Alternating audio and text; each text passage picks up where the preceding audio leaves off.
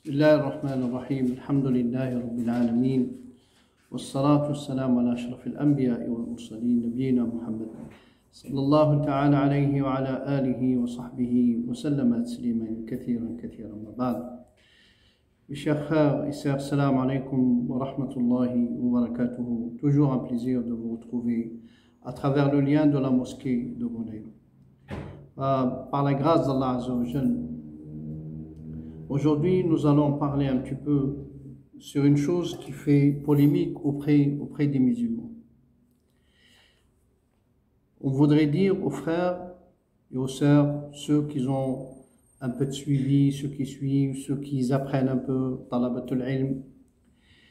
Une qaïda qui est très importante, une qaïda, une base qui est très importante.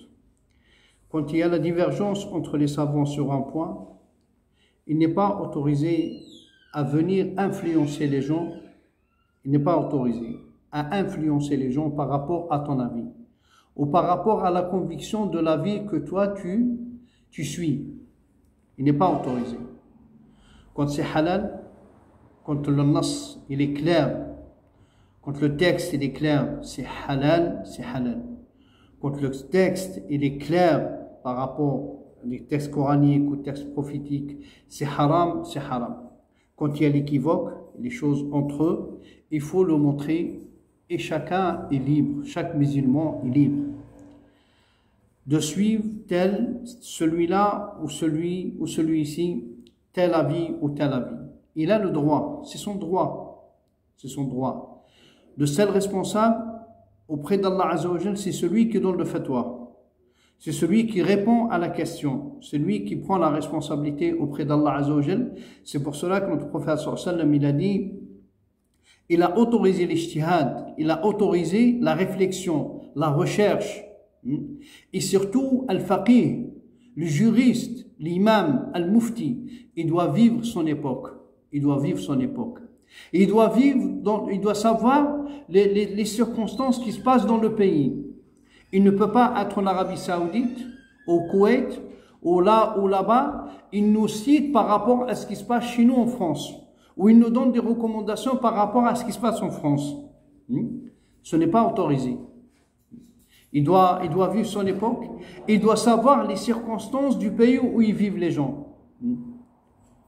Quand la, la, la, chose ou la question, elle est mahallu khilaf bayna ahlul ilmi, فيسع فيها الخلاف المسلمين الذي أراد يأخذ بهذا الرأي يأخذ والذي أراد يأخذ بهذا القول يأخذ من حقه C'est de mon droit quand il y a la divergence entre deux savants ou entre les savants Certains disent c'est autorisé, certains disent il n'est pas autorisé. Il est de mon droit de choisir. Si je suis quelqu'un qui a plus ou moins des bases sur lesquelles il peut s'appuyer pour chercher la recherche, pour chercher la, la, la, la preuve de celui-là ou la preuve de celui-là, c'est ce qu'on appelle en arabe at-tarjih. Si je suis capable, si je suis apte à chercher dans les, dans les dalils pour tarjih, pour donner la, la, la, la vie le plus important, je le fais mais si je suis dans dans la masse, je suis, je me suffis à suivre la parole d'un savant, la parole de ce savant, ou la parole de ce savant. Je prends de cet avis ou je prends de cet avis, c'est mon droit. Nous sommes aujourd'hui euh, dans une question de vote. Le vote ici en France, en Europe en général, certains savants, ils l'ont, ils l'ont mentionné, qu'il n'était pas autorisé, certains, ils l'ont ils ont, ils ont mentionné qu'il était autorisé de voter et de vivre dans le pays, de vivre euh, complètement dans le pays où on vit, et essayer d'apporter son changement, essayer d'apporter des choses, des belles choses, des choses euh, mieux. C'est mon droit. Et le musulman, c'est son droit. C'est son droit soit de prendre de cet avis ou de prendre de cet avis, mais il n'est pas question que vous venez ou que vous, me dites non, c'est comme ça ou ce n'est pas comme ça. Non. C'est les textes qui sont clairs par rapport à cette chose. On a le dalil, un texte coranique ou un texte prophétique de notre prophète sallallahu alayhi wa, alayhi wa sallam. Il nous dit ça c'est autorisé, ça ce n'est pas autorisé. Il n'y a pas وما كان لمؤمن ولا مؤمنة إذا قضى الله ورسوله أمرا أن يكون لهم الخيارة من أمرهم. Il n'est pas, il n'est pas autorisé un musulman quand c'est tranché. هن آيات محكمات quand, euh, quand le, le, le verset ou le, le, texte il est clair, il n'a pas le choix de le musulman de choisir est-ce que je vais là ou quand c'est l'équivoque comme on a comme on l'a mentionné au début, quand c'est l'équivoque où les ulama ils sont partagés, où les savants de cette umma ils sont partagés, les, les savants dans notre époque qui vivent notre époque et qui vivent avec notre époque, quand ils ont la divergence, je suis dans mon droit de suivre celui-là ou l'autre. Il est autorisé, il m'est autorisé à moi qui est dans la masse, moi qui ne, qui ne connais pas, moi qui n'a pas de science, il m'est autorisé de suivre celui-là ou de, de suivre celui-là. Si tu viens, toi, tu es convaincu ou tu as la conviction, ou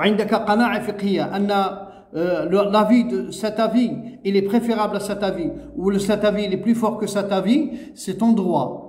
Mais il n'est pas autorisé à dire non, non, non, non, suivez-moi, comme il a dit Pharaon, suivez-moi et je vais, je vais vous guider vers le, le, bon chemin. Non, il n'est pas autorisé. Et le musulman, il a le choix. Et, aujourd'hui, mes chers frères, il, faut, il y a une certaine réflexion dans le pays où nous vivons. Il y a une certaine réflexion. وفقنا الله وإياكم ما فيه خير السلام عليكم ورحمة الله وبركاته.